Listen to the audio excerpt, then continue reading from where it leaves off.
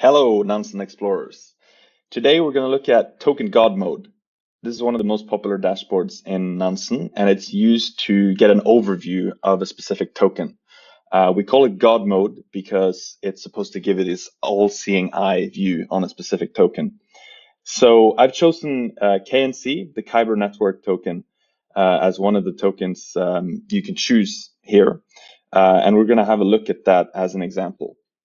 So there are several sections in token god mode. The first section is tokens on exchanges. Uh, this shows uh, at a high level what the supply breakdown is uh, on exchanges. So first of all, the high level view, 45% of Kyber network tokens are available on exchanges. That's 45% of the total supply. You can get a breakdown here in the right corner uh, on the different exchanges, Coinbase, Binance, Upbit, etc. It shows the balance here. Uh, and you can also see uh, the change, so how much it's uh, gone up or down in the last seven days.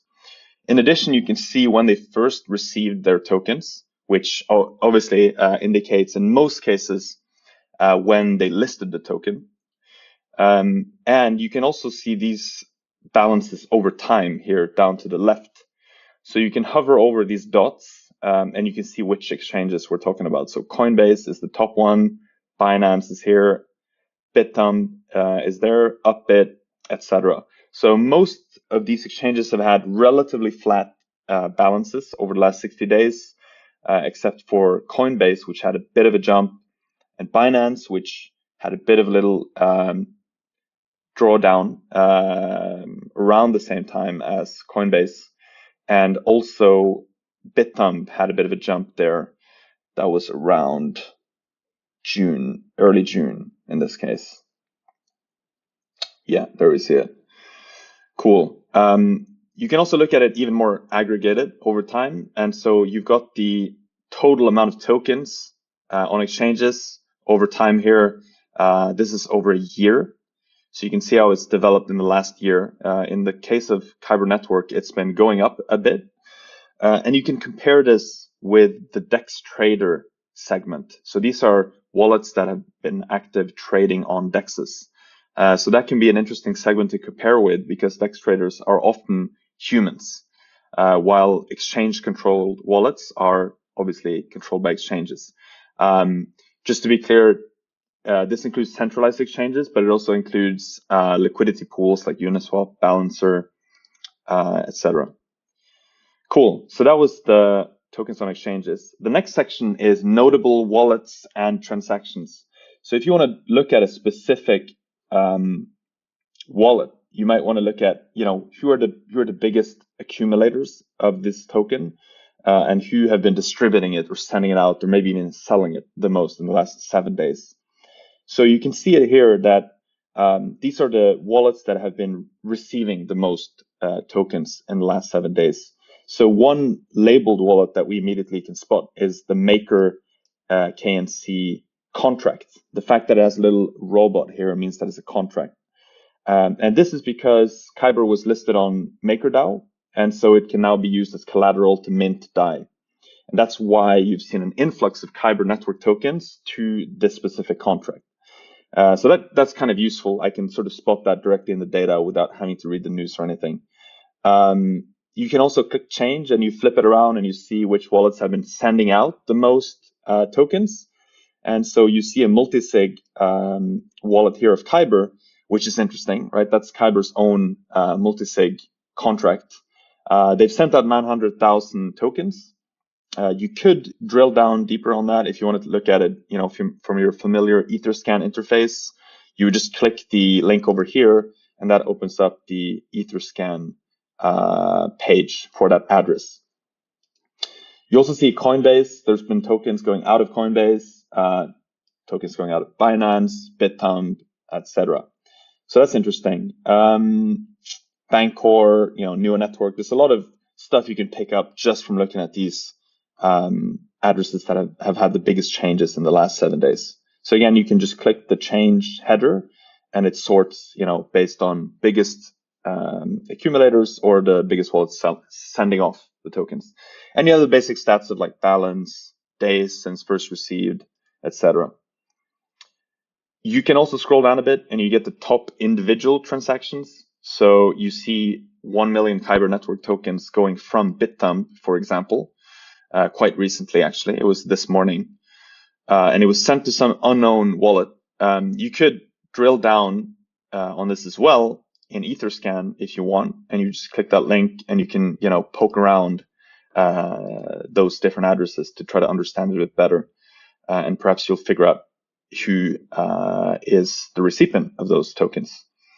So that's pretty straightforward. You can also, again, you can see the multisig transaction there from Kyber's own wallet. Uh, it was sent to a wallet that we have labeled as medium dex trader, which means um, that uh, this is a behavioral lab label, which means this is someone who's been trading quite a bit on on dexes, uh, not necessarily that much. Then they would have been uh, labeled a heavy dex trader, but it is someone who's uh, traded several times um, on dexes.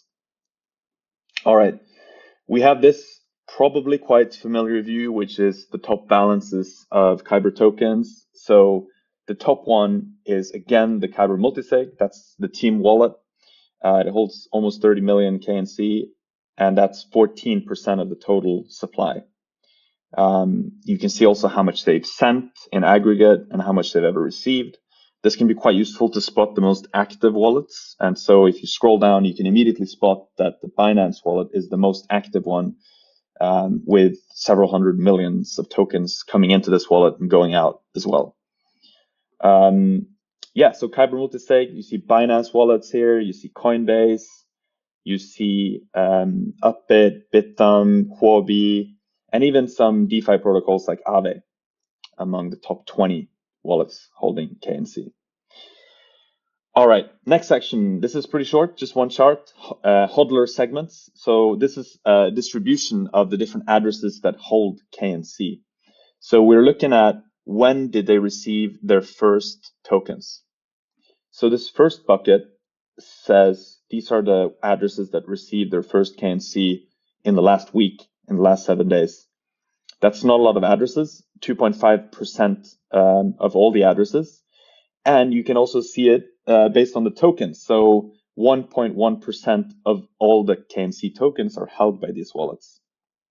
And so you've got these different segments, you know, less than a week, seven to 90 days, 90 to 365 days, uh, one to two years, and then two plus years. So you can see see that there's a lot of addresses that um, received KNC a long time ago. Like 60% of all addresses uh, received them more than two years ago, and that represents 36% of the tokens. Um, if you look at this segment, this is interesting because it's not that many addresses, but there's some whales in that segment because 40% of the tokens are held by that seniority segment. All right, the last section is DEX trades. So here we actually take the raw DEX trades uh, close to real time. It has about a five minute lag uh, to the addresses um, to go through our data pipelines. But basically, it shows you know the token price. That's pretty basic from the DEX trades.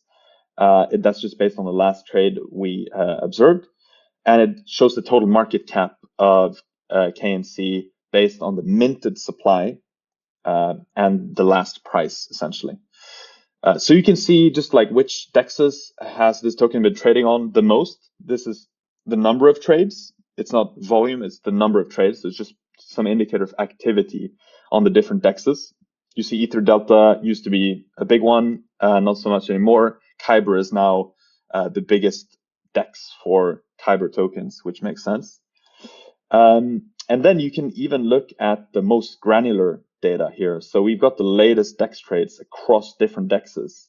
You can see which DEX it is over here to the left, and it's sorted, you know, from the latest trades to um, to older trades, so the newest to the oldest trades. Um, you can see the maker uh, token and amount over here, the the taker uh, amount over here and token, and then you've got the labels for those different addresses that participated in this trade. So in this case, we have a balancer pool that acts as the maker. Um, and then you have a heavy DEX trader, uh, someone who's traded a lot um, on DEXs. And so in this case, the heavy DEX trader had uh, these LRC tokens that they traded for Kyber network tokens. Uh, you can also, again, you know, we've got Etherscan links, so you can click those and drill down on those specific, the maker address and the taker address to learn more about, you know, what what do they do, and maybe you want to poke around the the graph basically um, in Etherscan. So that's it for now. Um, hopefully this was useful, and uh, you can use Token God mode for interesting analyses and research that you do on tokens. Thanks very much. Bye bye.